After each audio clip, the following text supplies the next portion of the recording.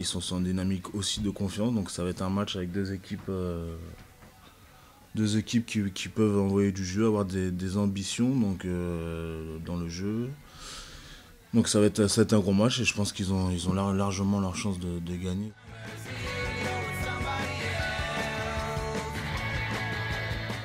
C'est vrai que cette année, on a, une mêlée qui est conquérante, qui est performante. Parce qu'il y, a Patricio Noriega aussi qui, nous a pris en main, qui a, fait un, super boulot.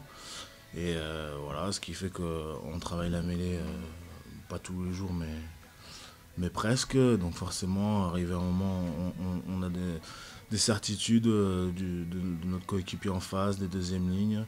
Et voilà, et puis on a pu remarquer que c'est pas seulement une équipe qui est performante en mêlée, c'est peu importe l'équipe alignée, il y a, il y a toujours une, une bonne mêlée au Racing.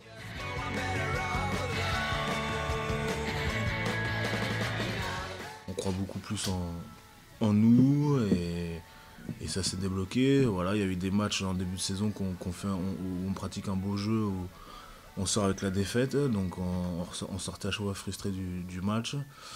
Euh, voilà, là on, s'est remis euh, dans, la victoire et tout doucement, euh, voilà, on a confiance, on a confiance en notre jeu on n'essaie pas de sortir du système de jeu, d'essayer de sauver la, patrie tout seul. Donc euh, voilà, il y a tout ça qui, rentre en jeu.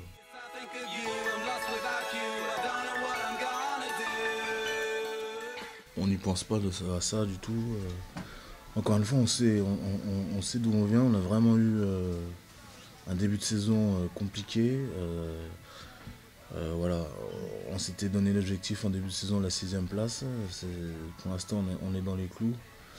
Euh, il reste encore du chemin. Euh, après, euh, bien sûr, si ça se présente, si on a l'occasion, bien sûr qu'on va en profiter. Mais, l'essentiel avant tout, c'est de rester, de rester humble, les, pieds sur terre et, de comprendre que, que c'est jamais joué d'avance. Et je pense vraiment que cette force cette année qu'on a, c'est que justement, on a eu des moments très compliqués où euh, on croyait une période qu'on allait lutter pour le, maintien. Donc euh, voilà, maintenant, on va pas s'emballer à, se dire qu'on va essayer de choper les deux premières places.